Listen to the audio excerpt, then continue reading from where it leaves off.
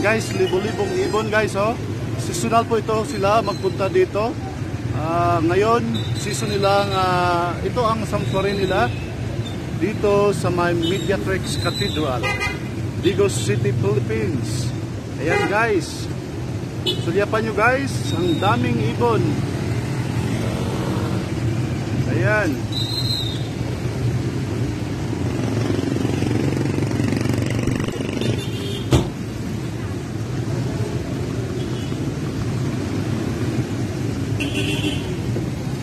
So dito guys, makikita nyo diyan sa may mga wires ng uh, Dasorico. Yan, diyan sila nagano. Yan o. Yan ang pugaran na guys. Yan, yung malaking ah, kahoy.